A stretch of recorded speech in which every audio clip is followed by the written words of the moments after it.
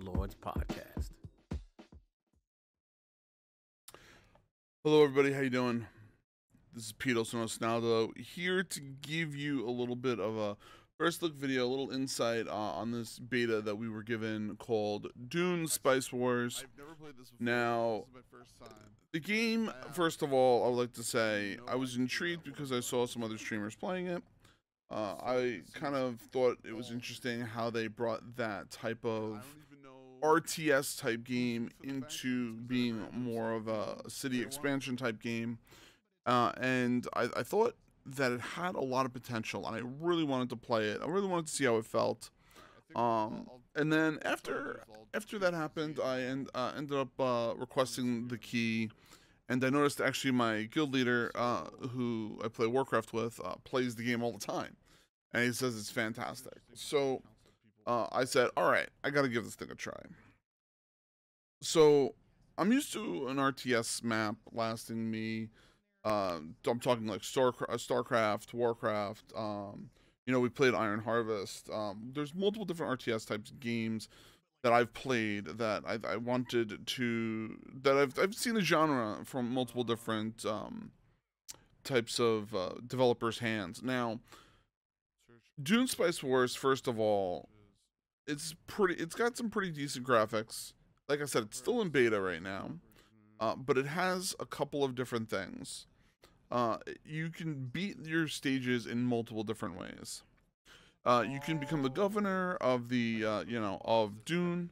Uh, of the planet. You know, if it, there's, Um, sorry for being so ignorant to the specifics of Dune. I haven't seen the movies since the original. I didn't see the new one, so I apologize. Uh, I hear they're fantastic, and I can't wait to uh, follow and see them. Side note that. So in this you- in this version of Dune Spice Wars, um, you can end up beating a board in multiple different ways. You know, you have your governor. You you can become governor. You can uh, you have a whole bunch of different ways to espionage uh, the other the other factions. Um, you can assassinate them.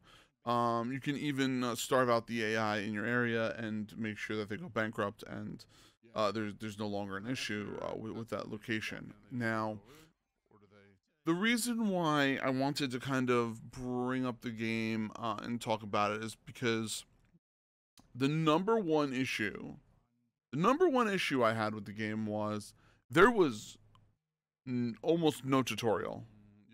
And I have played more than my fair share of RTSs, and I know how to play them, but this was very, very confusing.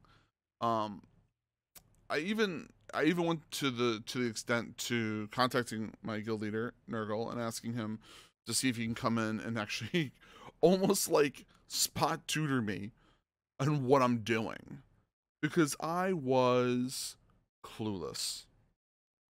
And he came in, he explained, you know, the different factions. He explained uh, to me, you know, the the different ways to win. He kind of gave me the the one-two punch of teaching me how to do, you know, basic things so that I can kind of complete the game.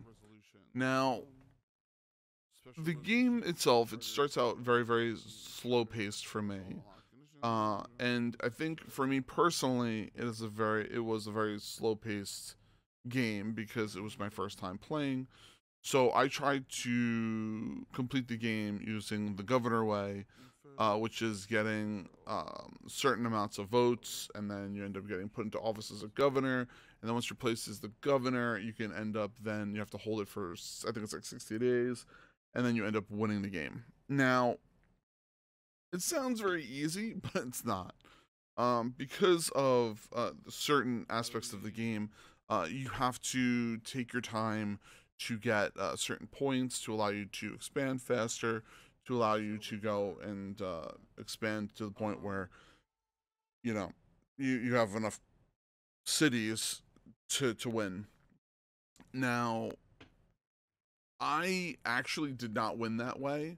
Um, I actually won by starving out the AI from having uh, not enough uh, resources. Or I think it might have been that he got attacked too many times by raiders and just died.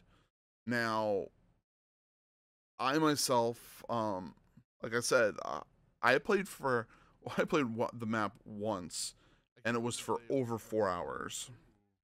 And I will say, it didn't feel like four hours, number one. Number two, I had a blast. Uh, my chat was super engaged in asking questions and trying to help me win because I've never played before. And because there was no tutorial and there was very little information on teaching me how to play, they were giving me lots and lots of tips, which I really thought was nice and effective. Uh, and I thought that because it has so many different elements, it made it way more enjoyable than a normal RTS. Now, I'm just gonna talk about a couple of different things uh, when, when it comes to comes to the game itself.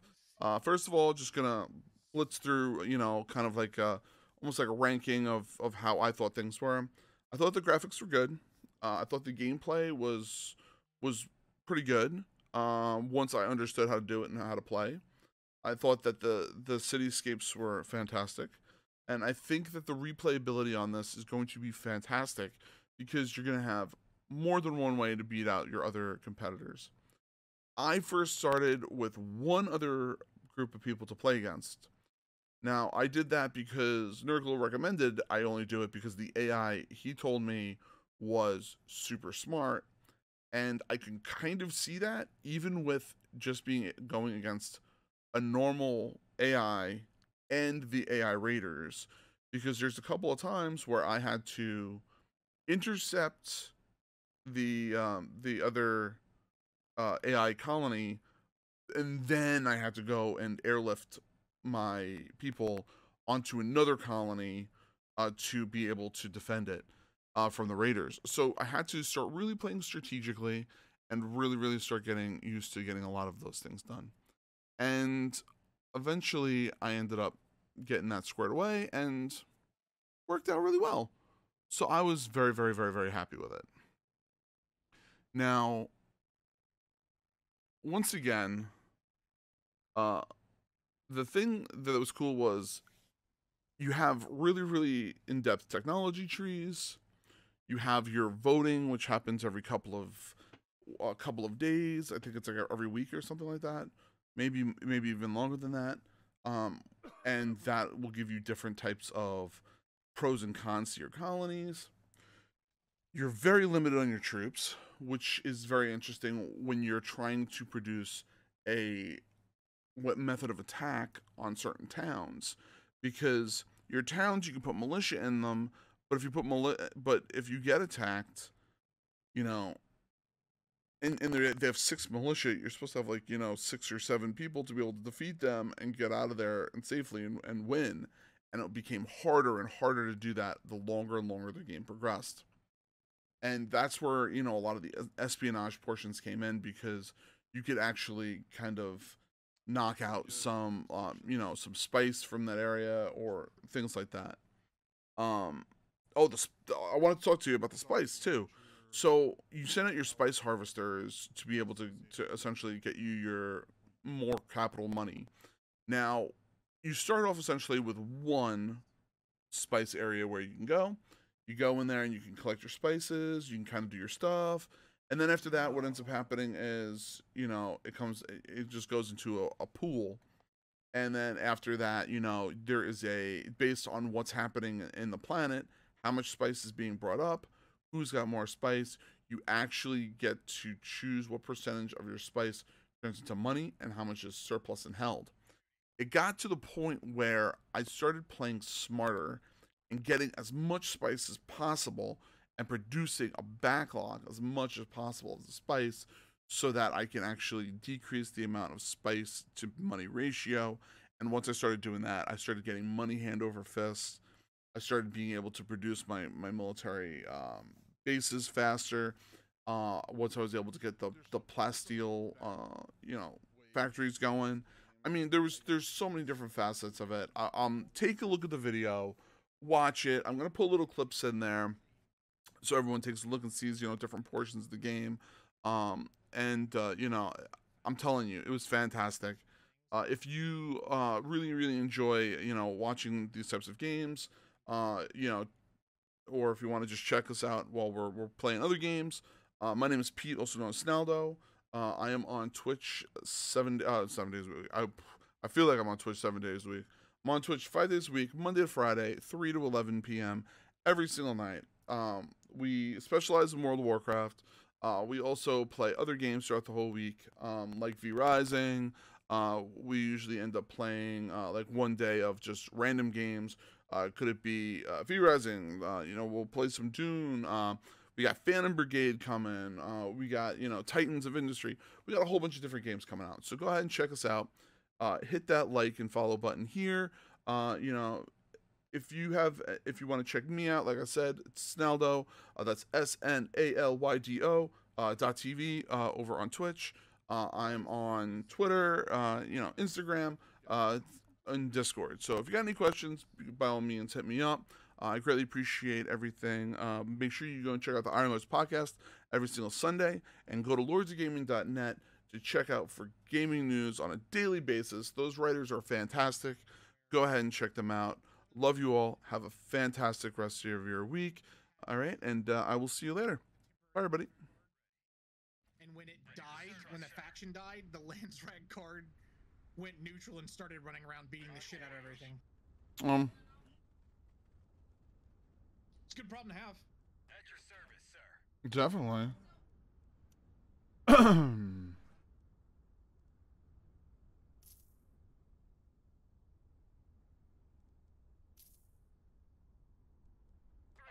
Yes, sir. Need to blow something up? Ready. We'll hold here.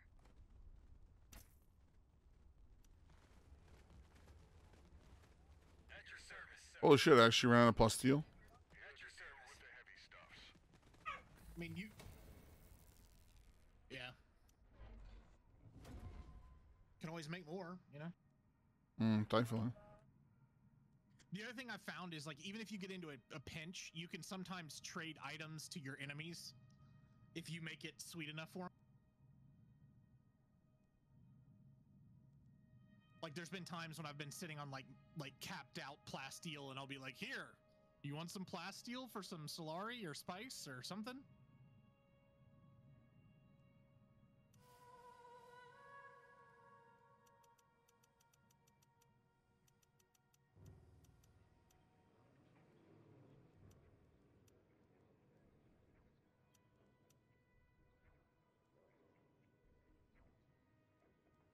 I need five more regions. I'm sorry, ten more regions. Try to be governor. Yep. Oof. You better start pulling your influence now if you want to win that vote. And then you got to hold the region for a while. You can't just get it and win.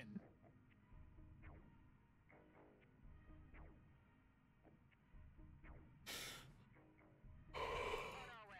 What happens if I just attack the other guy's main town? I mean, if you break through and kill it, you'll win, but it's tough to, to break through. It's it's basically its own defenses and it's thick, although it's almost half dead already. That's that helps. Mm. Hell, at this rate, you may be able to just outlast him. Right.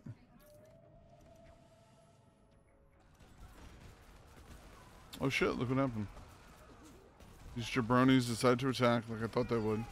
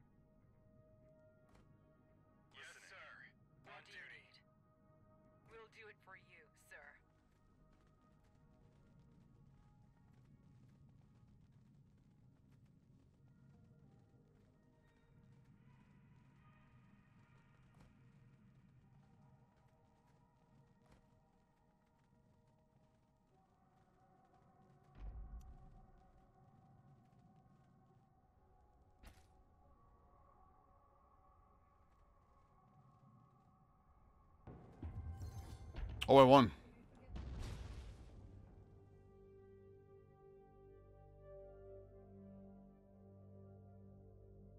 Oh, I guess he died. Huh.